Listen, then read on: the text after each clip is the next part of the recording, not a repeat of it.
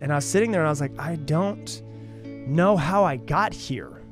I don't know what I'm supposed to do to get myself out of here. Who were you before the world told you who you're supposed to be? So, who am I? Oh, sh- let's get really deep, right? At a core level, who are you? A few weeks ago was my 35th birthday party, and we had a bunch of people come over to my house, uh, this house that we just newly moved into not too long ago. And uh, we probably had 25 people come over to the house, and it was a bunch of friends that lived around town. And one of my friends who came over uh, is a friend who just recently moved to Austin, and uh, he was actually my roommate in college for my last year of college right before I dropped out to go start my business. And uh, and I kind of went into we're all sitting outside, we're all hanging out, we're all talking. And I was looking over at him and I, I, had this flashback to when we used to be roommates and how different my life is now compared to the way my life was then. Now, we were roommates uh, 2008 going into 2009. So we're talking uh, at this point in time about 12 years ago, right? 11, 12 years ago or so. And at that point in time, my life was only about a couple things. My life was how can I get drunk as quick as I possibly can, and how can I do a whole lot of drugs, right?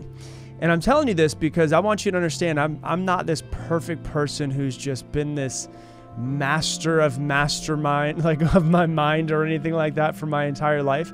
The way I got into doing what I do now uh, in in the way I get into teaching people about mindset is because I had to try to master my own mindset to get to where I am. And so people think that I wake up and I'm just highly motivated, I'm just driven, all this stuff. No, I have to work on myself, sometimes harder than anybody else that I know. But that in turn has given me tools to be able to teach people. And so when I had this little flashback thinking about him, I was like, man, my life is is way different than when we were roommates. I'm I'm literally a different person. The things that I enjoy now, I would not have enjoyed then. And if if I would have met myself in 2009 then 2008 2009 met myself now I would have gone, "Wow. I can't believe all of the stuff that you've accomplished. I can't believe all of the things that you've done." And I say that because I know there's people out there that are listening to me right now, and uh, they're thinking to themselves, I don't know if I can get out of where I am. I don't know if I can get out of this spot. I don't know if I have enough energy, enough motivation to get out. I don't like what my circumstances look like, but I also don't see a light at the end of the tunnel. And there's been many times in my life where I didn't think that I saw a light at the end of the tunnel.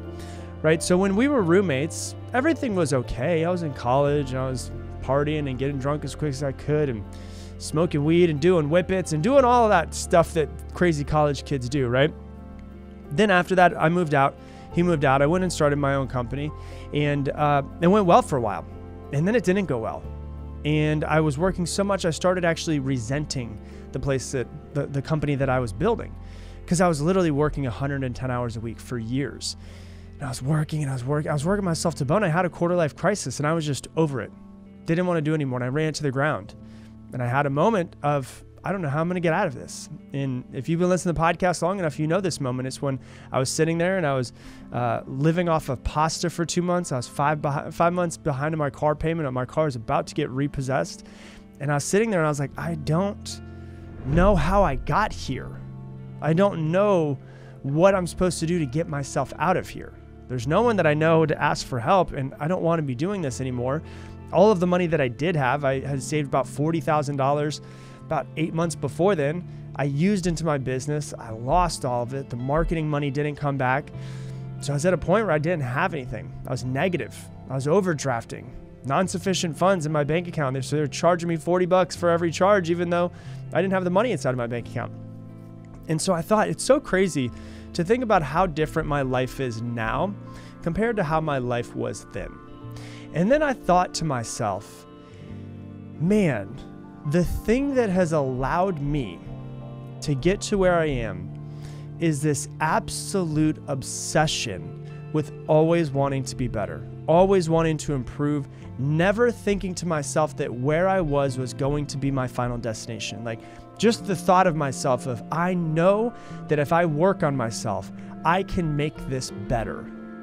And I want to tell you that I was right. I won't often say that I was right, but there was something inside of me. There was a gut feeling of if you just keep working on yourself, Rob, it's going to work out. If you just keep working on yourself, it's going to work out. And it did. And I can say that I'm love where I am. I love. I'm, I'm proud of myself for all the stuff that I've done. I'm proud of myself for the business and the achievements and all of those things. And I don't say it to brag. I just say it because I know that no matter where you are, you can feel the same. You can do the same. Now, you're not going to get it right away. It might take you some time, but I promise you it'll be worth it.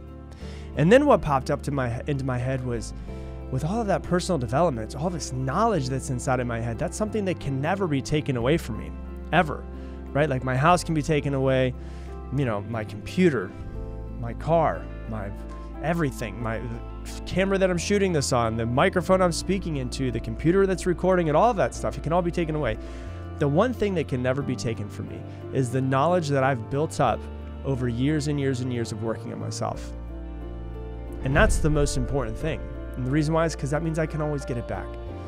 None of that knowledge can be taken away from me. So people want to buy things and they, they want to do all of this stuff. But I think what's really important is, is trying to improve yourself at every single moment. So then I had another quick little flashback and I thought to myself, man, when did this, this personal development journey start? When did this personal development journey start? When was it? And I thought to myself, I remember hiring my very first mentor, I paid him 500 bucks a month when I was 19, turning 20 years old. I'd only paid $350 in rent at that time. And I thought to myself while I was still outside, it's still my birthday, it's my own damn birthday, and I'm thinking this deep, right? There's all my friends all around, pool party, all of this stuff. Everyone's hanging out outside. I'm going into these deep thoughts like I always do because I'm so freaking philosophical, right? And then so I'm thinking to myself, oh man, I know when it really kicked off. And it really kicked off when my mentor told me to read a book. And hopefully, this book sales just spike up like crazy today. Uh, but the book is called The Five Major Pieces to the Life Puzzle. And it's a super, super short book. For those of you guys that are looking, you know, on video, it's this book right here. Uh, it's a short, little, tiny book. For those of you guys that are following along just on the podcast, that's why you need to be also following along on Instagram or following following along on YouTube as well. It's a tiny book. I mean, you can see it's probably 100 and let's see, it's 119 pages. It's nothing. Super easy to read it was kind of like my gateway drug to personal development. And um, so I thought to myself, I should go inside and pick that book up and just see if the universe is ever going to give me messages, it's going to be now. And I believe that if I go pick up a book and I open up to a page, that's a message that I need to have. So I went in, and my freaking birthday party's still going on at this point, guys. My birthday's still happening, and I'm I'm walking inside of my freaking house to go see if the, the universe wants to give me any messages for my 35th birthday. I walk into the house, and lo and behold, the universe decided to give me a message. I'm flipping through the pages, and I'm like, you know what? I'm just going to pick one. And I just open up to a page. The page that I open up to, it, I don't remember, I, I, was looking for it. I didn't get enough time to look for it to, to find the actual quote. But it said something along the lines of don't underestimate where you can be in 10 years by dedicating work into yourself every single day and trying to improve every single day. And for me, it was like this message of you did pretty good. You're still doing great. Like you might not be where your final destination is, but you're doing pretty damn good. And it was an, it was eye-opening for me because I remember where I was when I wrote like when I highlighted that cuz I highlighted the hell out of this book very first book I ever had. I highlighted it, I took notes, all of that stuff. And that's what really started me into reading. It's also really started me into highlighting and, and making notes. And I thought to myself, I remember where I was when I highlighted that. This, this is the time machine I'm telling you about. I had this flashback to, I remember when I was selling Cutco, selling knives in people's houses, and I was waiting for someone to show up to her appointment, and she was late. And so I went back into my car and I was inside of my 2000, I think it was actually no, what was it? It was a it was a 1999 Nissan Sentra. And it was all beat up, looked like crap, and I remember I was highlighting this part of never underestimate what 10 years of work in yourself every single day will get you. It's like the compound effect. It's just little tiny improvements over years and years and years put you in a completely different place. And that was 15 years ago that I was reading that. And I thought to myself, what if I never read this book? What if I never hired my very first mentor? What if I decided to quit my job early instead of opening a, f- a franchise with a business? What if I decided to go the easy route? What if I decided to not follow my heart? What if I decided to finish college instead of dropping out? What if I decided to go the route that I was supposed to go, the things I was supposed to do? What if I would have listened to society instead of listening to my gut? And I thought to myself, my life could have been in a completely different circumstance than it is right now if I would have gone the easier routes. But one thing that I've done consistently is I've always followed my heart on what I felt was the right thing to do. Most of the time, I'll be honest with you, it didn't logically make sense. Majority of the time, it didn't logically make sense. But for some reason, in my gut, in my heart, it felt like it was the right thing to do. And so, what did I do? I just decided to follow it because I thought, this feels right. Let me at least see what happens. Dropping out of college to start a business, that didn't logically make a whole lot of sense. There weren't a whole lot of people at my age, you know, at that, that time I was 23, they were dropping out of college. Yeah, I was 23. I still wasn't done with college for all of you guys that are judging me, right? I was, I was, I was going the long route in college. 23 dropping out of college so that they could go and open their own business right? Normally at that time, people are trying to graduate college so that they can get into some company, right? It didn't logically make sense for me to start a podcast. It didn't logically make sense for me to start posting stuff on Instagram that was inspirational. It didn't logically make sense for me to try to start making viral videos, right? But all of those things added up to where I am now. Once again, I'm not telling you any of this stuff to brag. I'm telling you this just to give you my own personal experience of what I've noticed works really well in my life. And what it is, is sometimes, you know, looking at the way that you're quote unquote supposed to go and saying, you know what, that's not what I want to do.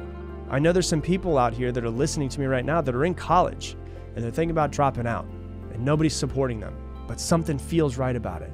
I know there's some of you that are listening and you're thinking about leaving a relationship because it feels like that's what's supposed to happen. Feels like you're being restricted, but it doesn't logically make sense. I know there's some people that are out there that are, you have the feeling that you want to quit your job and start your own business. And it doesn't logically make sense, but inside of your gut, inside of your heart, it makes sense. I know there's some people out there that are, you know, you got a little bit of money saved up, and the only thing you truly want to do right now is travel. So you want to quit so that you can do it. It doesn't logically make sense, but in your heart, it makes sense. And I want you to realize that following your heart is always the right choice. I've been in all of those situations right? The dropping out of college, been in that situation. I've been in the situation of needing to break up with somebody. I've been in the situation of quitting my job to start my own business. I've been in the situation of quitting a job to go travel for three months and backpack around Europe by myself. Even though none of those things logically seemed to make sense at that point in time in my life, they all felt right. And I think that one thing we all need to get better at is listening to our gut thinking about what feels right versus what doesn't what logically makes sense. Because ultimately as i always say your gut is your their gut feeling is your emotional compass right? Your brain tries to keep you out of danger. It tries to keep you out into your comfort zone. So it doesn't try it tries to change as little as possible. Your gut though your gut knows what's supposed to happen. And when you stay in places that you're not supposed to stay in you can feel yourself getting more depressed or slowly slipping away or in you know what i always say is the way that i felt in certain aspects when I was working for somebody when I knew I shouldn't be and I wanted to start my business was I felt like I was my soul was just slowly dying inside of me. And so I want you to realize that a couple things that I've realized from this time machine, from this flashback, from this 35th birthday when I went on this really deep thought process was that number 1 working on yourself is always going to pay off. There's never a downside to working on yourself, right? Invest the time, the money, the energy into yourself because there is no better ROI than working on yourself. I absolutely promise you that. I've invested into a lot of different things. I've invested a lot of different things for myself, into companies, into real estate. I still, to this day, have not found anything that gives me a better return than putting money into my own development, business development, personal development, mindset, whatever it is that I'm doing.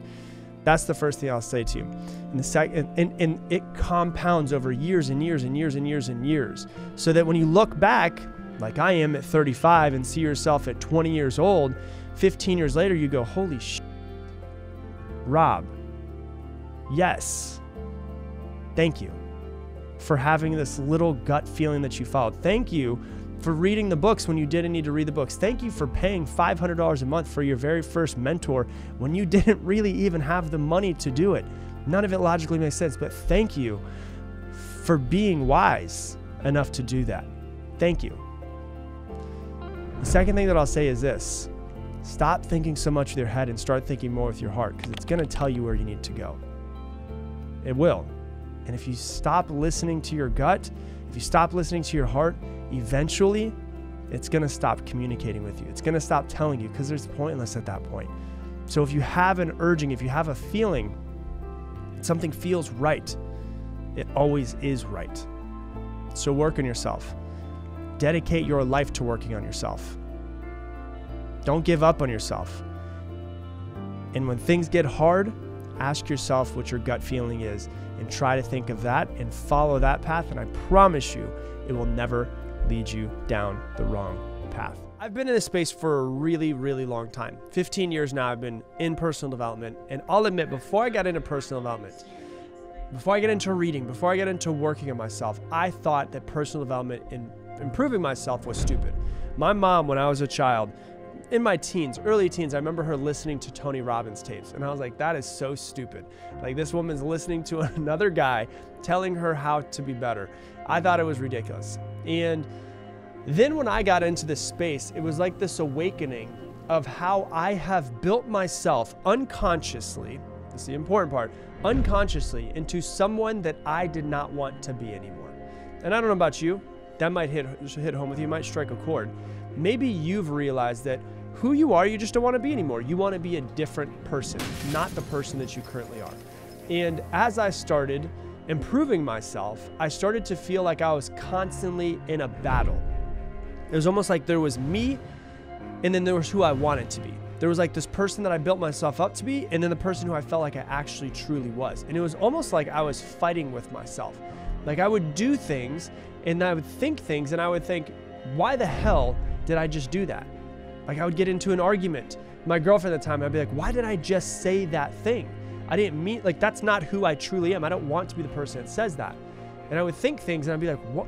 Where did that thought just come from? Like, who, who the hell thought that? Because I don't feel like I thought, like, that's not what I want to think.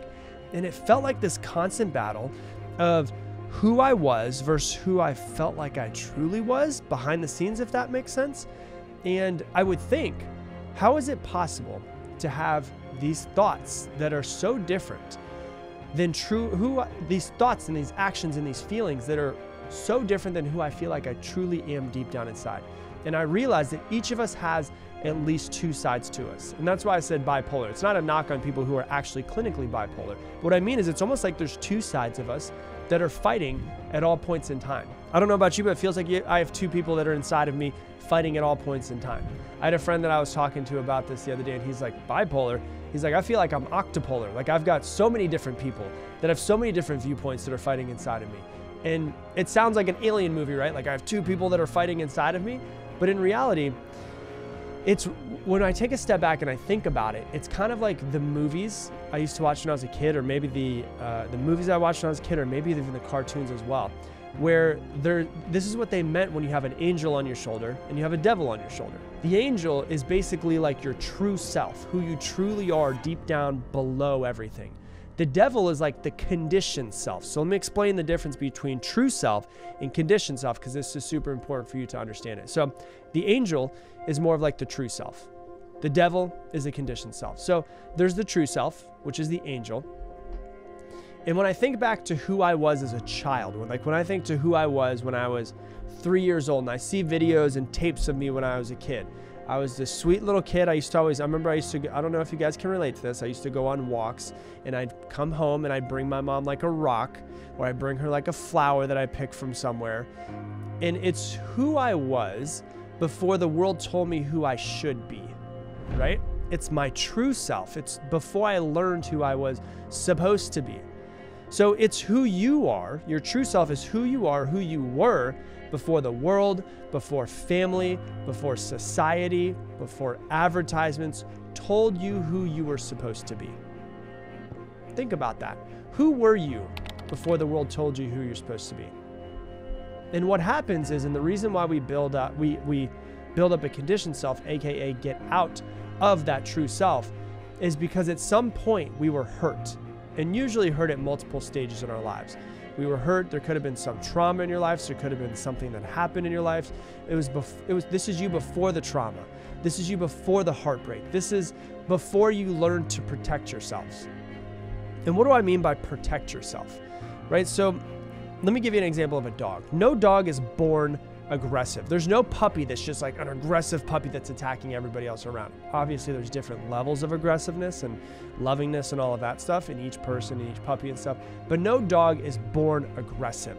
The aggressiveness is a defense mechanism that it has learned to protect itself.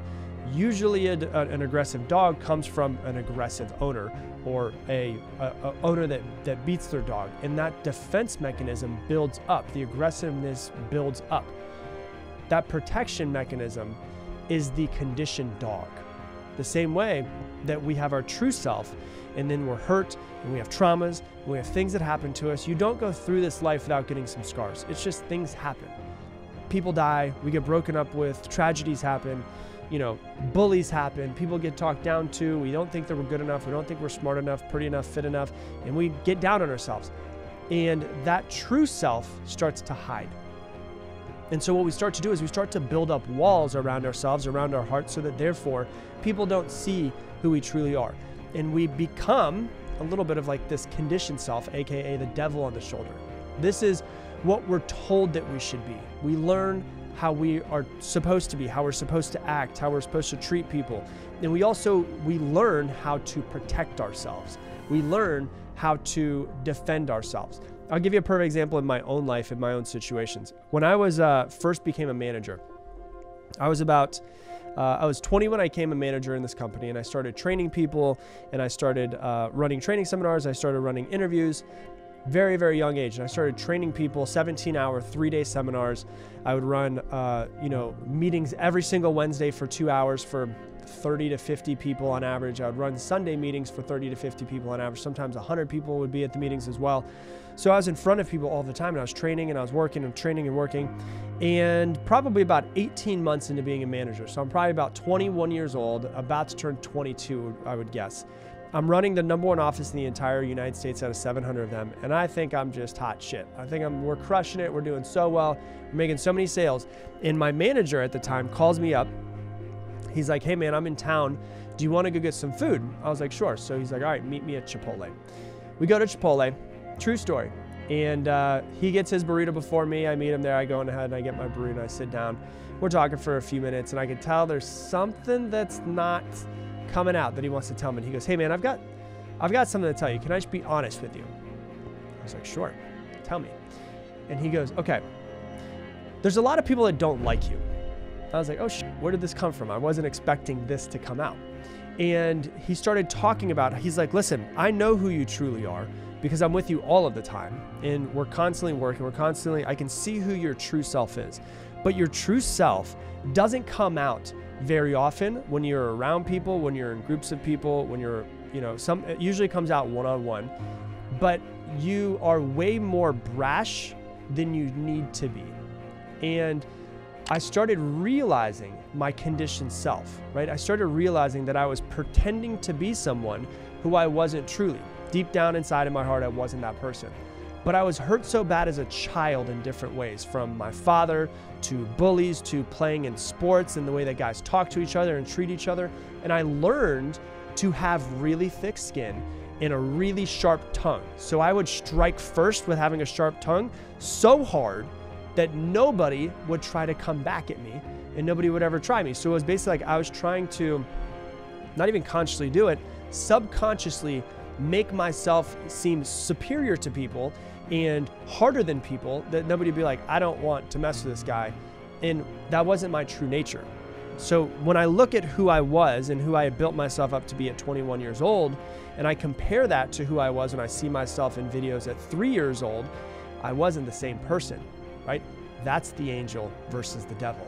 right? That's the angel on my shoulder, the devil on my shoulder. That's the true self, me as a young age, versus the conditioned self. The conditioned self that's trying to protect itself, that's been through trauma, that's been hurt. And it's the aggressive dog that's trying to bark and scare somebody because it's really just terrified. Not because it's aggressive, but because it's terrified and it's trying to protect itself. And so I had learned that I had conditioned myself to be that way. And I didn't just like wake up to it one day and then just got rid of it. I was like, oh, I'm just, I'm gonna go back to my, my, you know, perfect true self again, right? That person still exists inside of me that I was at 21 years old. And I have to work to diminish that version of me every single day. Much better now than I was then. But we're talking about this is a conversation that's 14 years ago. And I still have to work on it. And I'm definitely not as brash as I used to be, not as uh, sharp tongued as I used to be, but I notice it start to come up sometimes, and I have to consciously bring it back. And sometimes I say stuff, and I'm like, oh God, I didn't mean to say that. It just kind of popped out, and I have to backstep from there, right? And I don't know about you, but I would much rather be my true loving self more than I would rather be my conditioned self. I want to be who I was when I was a kid, right? I want to listen more to that angel more than I do to that devil. And I'm definitely not perfect in any sort of way. I still judge people way too fast. I notice it in my head. But then when I judge somebody, I go, okay, that's not who I am. That's not who I want to be. And so that first thought comes up, and that's the me think me the, the whole thing I was talking about, you know, like almost like the bipolarness where it's like there's just two people inside of me. There's the person who automatically comes up, the conditioned self, and then like, ah, that's not my true self.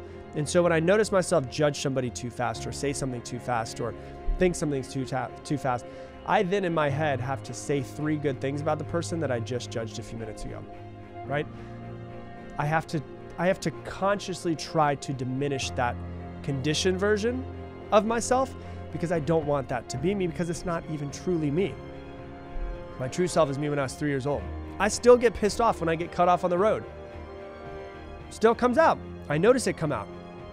And then so I have to become aware, breathe through it, and then I remind myself that maybe this person is in such a rush because they've got to hurry up to the hospital to see someone that they love because something might have happened.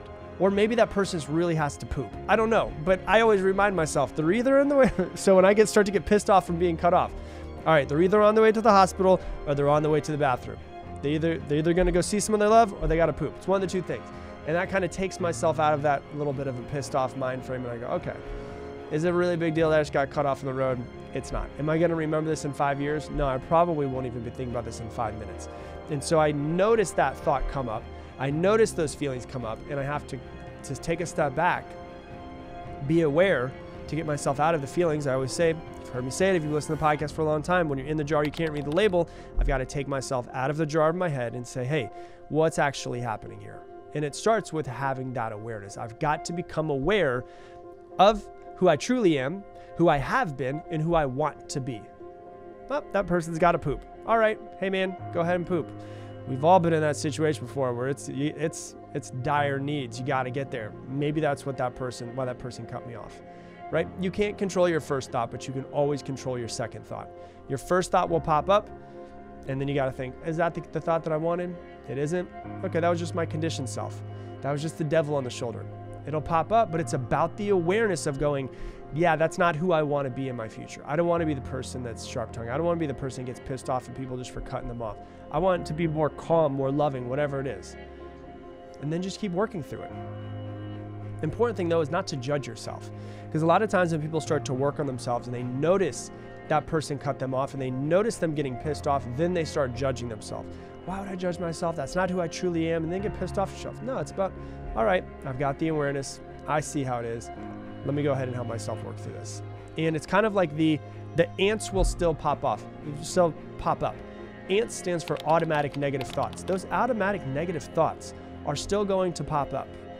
It's just the way that life is. I don't know if you'll ever get rid of the automatic negative thoughts. I don't know if I'll ever get rid of the conditioned self, but I'm noticing that over years of working on myself, working on myself, it starts to get smaller and smaller and smaller and smaller. I start to notice myself of years of working myself to start to get more back to who I feel like I truly am. The automatic negative thoughts are still going to pop up.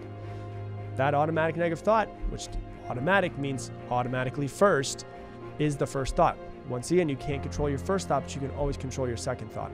So, what usually happens is it makes it easier for you when emotion is high, logic is low.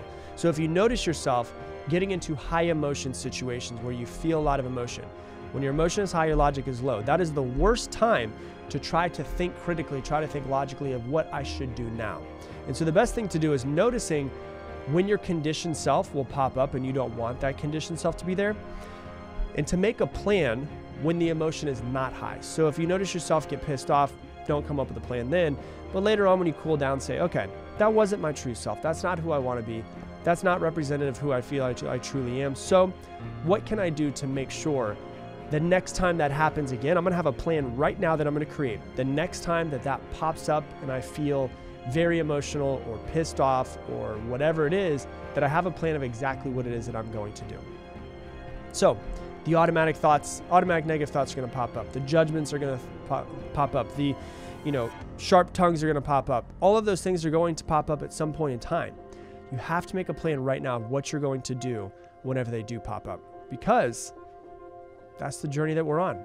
We're just constantly working on ourselves. You're never going to be perfect. You're never, you know, going to be exactly where it is that you want to be. This journey of life is a journey of self development and personal development and spiritual development of just becoming better every single day. That's all that we're really here to do is just to try to improve ourselves. So don't judge yourself when it happens. Have a plan and start to work through it. You can't control your first thought, but you can always control your second thought. That first thought is usually the conditioned self. That second thought can always be your true self, who you truly are deep down inside behind all of the protection mechanisms, behind all of the defense mechanisms, behind all of the walls you built up for yourself, all of the hurt, the pain, the trauma, all of those things, there is a true self that's deep down inside there. That's the one that you got to find.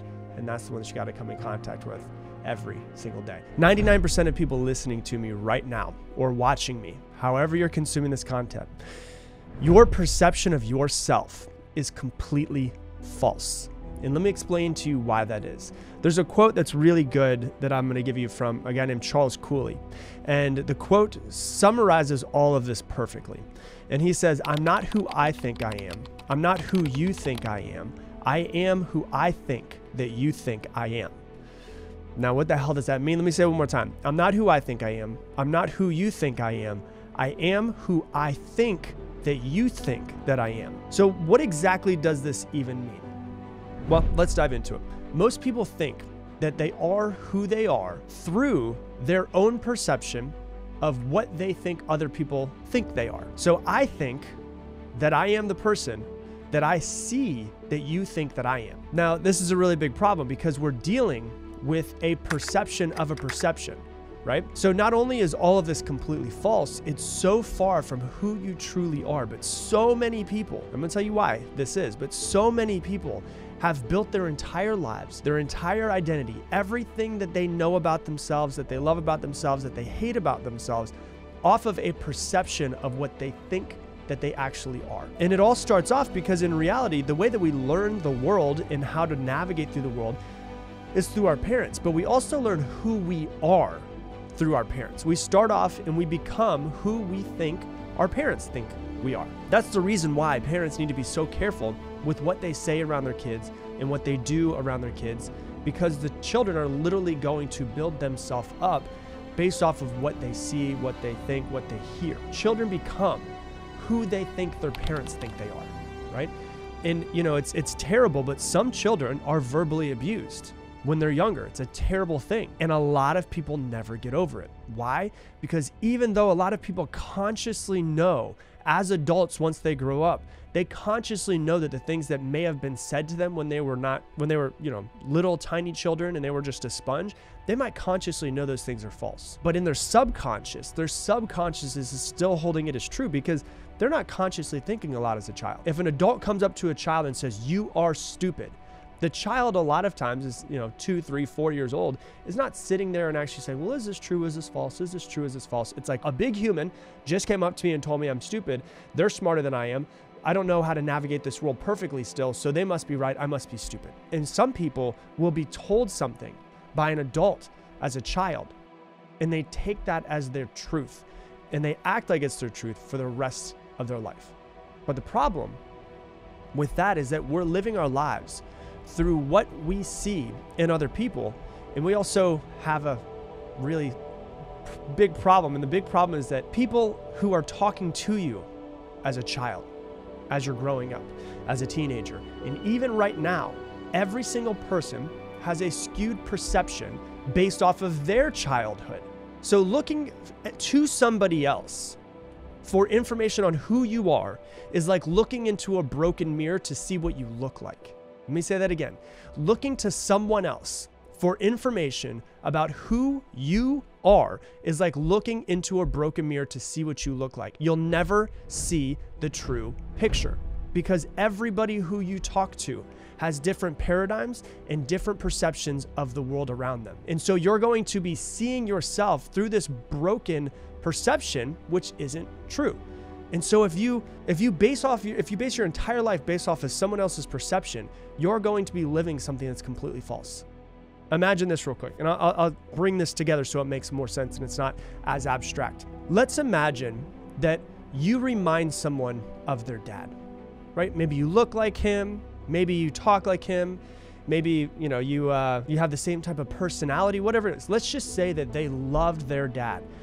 He was an amazing man. He did everything that he could. He's still around. He loves the hell out of this person. And you remind that person of their dad, then they are going to have amazing feelings around you. And that's going to show when they are around you. And when someone has amazing feelings towards you and they let that show, well, what's going to happen? It will make you feel good about yourself. And you'll think, "Man, I must be a good person. I must I must, you know, you feel good when someone feels good around you, right?" So if they love, if you remind someone of their dad, whatever it is that reminds them, then you're going to have this perception of yourself through that person who loved their dad and be like, damn, I must be really awesome because that person really liked me. Okay. Now let's flip it. Let's say that you just happen to look like their dad, or you look like their mother if you're a female. Let's say their dad or their mom was a terrible person and you just happen to look just like him. Then what are they going to think of you? It, it has nothing to do with you and who you are. It has everything to do based off of their perception of another person in their childhood that they're bringing to them now. They're not going to like you, not because it's your fault, but simply because of their own perception of what you remind them of. And it might make you feel worse about yourself because you don't even know that you remind them of their dad. Neither one of those situations, whether they like you or whether they don't like you, based off of whether they like their dad or whether they don't like their dad, neither one of those has anything to do with you. And that's why this is so dangerous. That's why it's so important to find out who you are and decide who you're going to be. You know, if I ask you right now, let's play a game, let's do this together. If I ask you, who are you? I want you to answer right now. Answer it in your head. Who are you? Answer it. Think about that for a second. Take a few seconds. Who are you? Say it out loud. Bring as many things into your conscious awareness that are you, that say who you are, right? And so, you know, some of you might say your name. Oh, I'm Rob Dial. Some of you might say, I am a mother of two. I'm a father of three. I am 35 years old. I am from Florida. I am a brother. I am a sister. I am a, a cousin. I have I, I am a uh, CEO of a beverage company. I am a janitor at the beverage company, whatever it is, you're going to say these things. I'm a college graduate. I went to the University of Florida. When I ask you who you are, you're going to start naming off external things. But none of those are actually who you truly are. None of those things. Your name, the fact that you're a mother or father, your age, where you're from, if you're a brother, sister, if you went to college, if you dropped out of college, if you got a degree, if you got multiple degrees, none of those things are actually who you truly are. I'll give you an example that makes let's let's just really try to dumb this down as much as possible so I can just like make it so it's as simple as I possibly can. I drive a 2018 Ford Raptor. I am not a 2018 Ford Raptor. Right now you might be like, "Oh yeah, no that makes complete sense. Of course you're not. Why would I ever think that you're a car?" Well, I bought the car, which means that I have quote unquote achieved the buying of a car. So then why would you if if I'm not a Ford Raptor, then why are you a college graduate? Why are you a mother? Why are, these are all things that you have done. And some of you think that you're a mother or father, which you are, but at the deeper level, right? At the deepest sense, you were someone else before you birthed children. Weren't you? Who were you? because you're always looking to the external to figure out who you are. You're always looking to other people or your accomplishments or your pay or your job or what is it you do or your name tag to figure out who you actually are. But at your core level, that's not who you are. Right? If I say I'm Rob Dial, that's just a bunch of, you know, sounds that were put together and given to me at birth. I wasn't Rob Dial when I was born though. So who am I? Oh, sh- let's get really deep, right? At a core level, who are you? This is why so many people have so much trouble when their children leave and they become empty nesters. Is because they are they, they're like I, for years, for 18, 20, 25, 30, 40 years sometimes, they have identified themselves as a parent. Well, then when their, their, their children leave and they don't have somebody to parent, they're always like, well, who the hell am I? And it becomes this big wake up like I don't know who I am because people base who they are based off of the external, not the internal. We base it off of other people's perceptions as well. We base everything off of other people's perceptions or the external. But none of those things are actually who you truly are. You weren't a parent when you were four years old, were you? Hmm. So being a parent is something that you've done. It's something that you've accomplished. I'm not saying there's anything wrong with being a parent, but you weren't a parent when you were four years old. So who are you? You know, I, I wasn't a, a Ford Raptor driver when I was four years old either. These are all just external things that we've accomplished over time or gotten over time. So you have to stop basing who you are off of other people's perceptions of you or external accomplishments or things about you. Now, this might be really messing with some of your minds, but when you really get it, you can actually see how powerful it is. Because if you are none of those things that you actually think that you are, then what are you? You know, are you just a spiritual being or a soul or whatever you want to call it that's just inhabiting this meat suit called your body, right? Think about that. And this is why it's so messed up. And this is why we could go so deep into it, right? I'll give you a really good example through a story and how this can change, how this, this little tiny mini perception can completely change your life, right? There's a story about this kid, and he's uh, in, the 11th grade and he's been failing all of his class ninth grade 10th grade barely getting into the next grade. And his parents are called in because he has this you know he's about to have to probably redo the 11th grade. He's getting terrible grades he's not showing up at school he's not hanging out with the right kids all of that stuff. And his mom forces him to go take the SAT because she's like i really want you to get education i really want you to turn your life around. And he's like it doesn't make any sense i'm stupid i fail all of my tests i've never gotten good grades i'm barely getting by and i'm not showing up to school because i know how stupid i am She's like, just go and take the SAT. So he goes and takes the SAT. And for those of you guys that aren't in America, SAT is just a test that you have to take in order to get to college. And he takes the SAT. This stupid kid, quote unquote, stupid kid, failing in school, not showing up, not hanging out with the right people, gets a 1480 out of 1600, which is, that's like the top 5%. He gets a 1480 out of 1600. He gets such a good grade to show him how smart he is. His mom actually thought he cheated but he didn't cheat. And he realized he didn't cheat. He knew he didn't cheat. And he went, oh my God, I'm actually smarter than I thought I was. What the hell have I been doing? And so he looks at this and says, I'm smarter than I thought I was. Maybe I, if I did so well in the SATs, imagine what would happen if I started studying. So he starts waking up earlier so that he can study. He starts changing who he's hanging out with.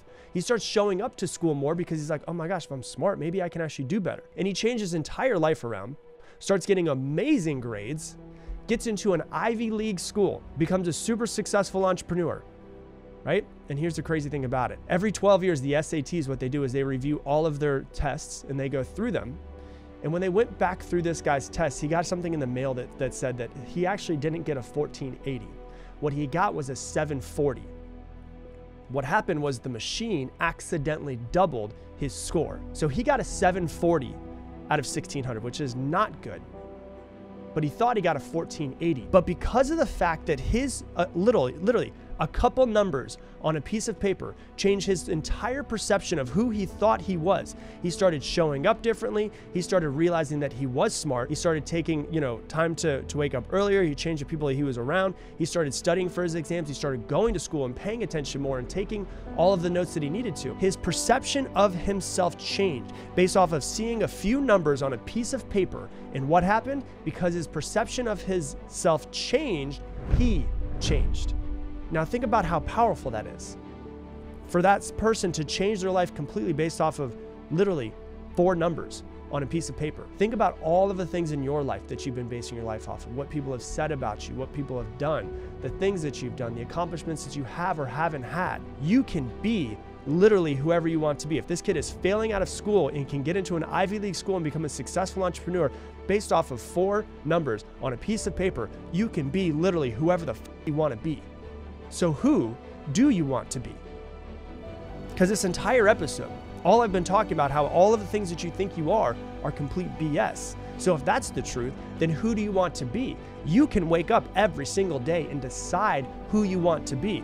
And I don't mean I want to be somebody who's a millionaire. I want to be somebody who has, you know, accomplished this. I want to be somebody who's driving a Ferrari. I want to be someone who's got an amazing family. I want to be an amazing parent. I'm not talking about any of those things. Those are all still external, and this is why it can be hard because we base our literally our entire perception of everything based off external.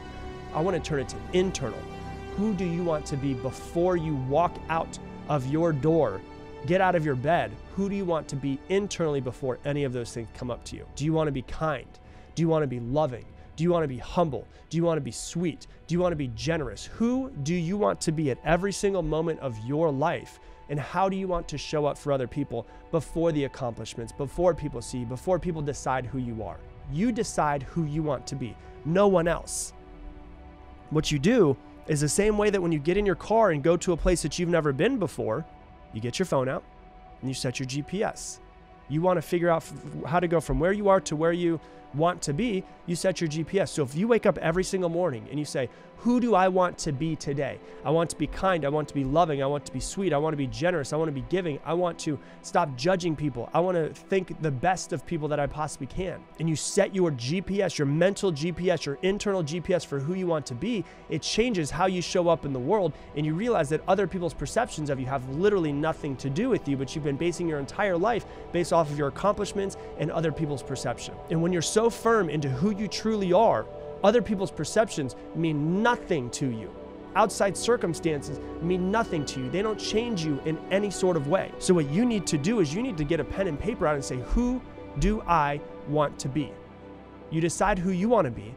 And then every single morning, you mentally set your GPS to become that person and see what happens in your life and how your life starts to change. The exact same way that when that little boy got a, a piece of paper that said four numbers on it, it completely changed the trajectory of his entire life.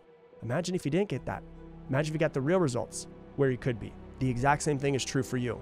What you see on that piece of paper of who you want to be, how you set your GPS, is going to change where your life goes from this moment forward. Hey, thanks so much for watching this video. If you want to learn even more about mastering your mind, click right here and watch this video as well. I'm going for longevity. I realize that this life thing, although it can be very short, it's also a marathon. And you know what makes running a marathon easier? A good attitude.